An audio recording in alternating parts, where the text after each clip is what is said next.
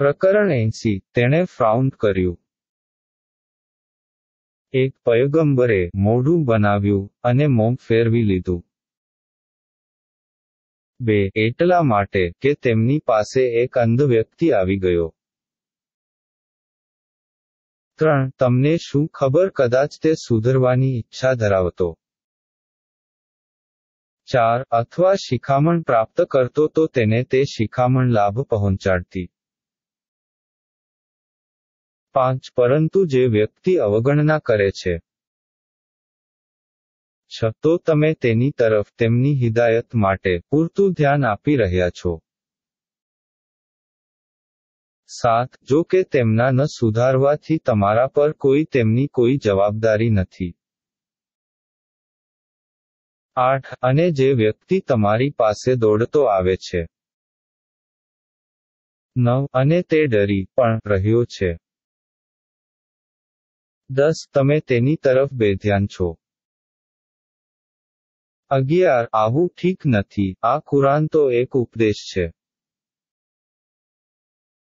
બાર, જે ઈચ્છે તેને યાદ કરી લે. તેર, આ તો પ્રતિષ્ઠિત સહિફામાં છે. ચૌદ, જે ઉચ્ચ કક્ષાના છે અને પવિત્ર છે. પંદર, તે એવા લખનારના હાથોમાં રહે છે. સોળ, જેઓ આદરણીય અને પ્રામાણિક છે. સત્તર, લહનત થાય ઇન્સાન પર, તે કેવો કૃતની છે. અઢાર અલ્લાહએ તેને કઈ વસ્તુ વડે પેદા કર્યો. ઓગણીસ, એક ટીપા વડે તેને પેદા કર્યો, પછી તેની તકદીર, ભાગ્ય, નક્કી કર્યું. વીસ, પછી તેના માટે માર્ગ સરળ કર્યો. એકવીસ પછી તેને મૃત્યુ આપ્યું અને પછી કબરમાં દફનાવ્યો. બાવીસ પછી જ્યારે ઈચ્છે તેને ફરીવાર જીવિત કરી દેશે. તેવીસ કદાપી નહીં, જે વાતનો તેને આદેશ આપવામાં આવ્યો હતો, તે આદેશનું પાલન નથી કર્યું. ચોવીસ માનવીએ પોતાના ભોજન તરફ ધ્યાન ધરવું જોઈએ. પચીસની શંક અમે જ મુશળધાર પાણી વરસાવ્યું. છવ્વીસ પછી અમે જ ધરતીને ચીરી ફાડી. સત્તાવીસ પછી અમે જ તેમાં અનાજ ઉગાવ્યું. અઠ્ઠાવીસ દ્રાક્ષ અને શાકભાજીઓ. ઓગણત્રીસ જૈતુન અને ખજૂરો.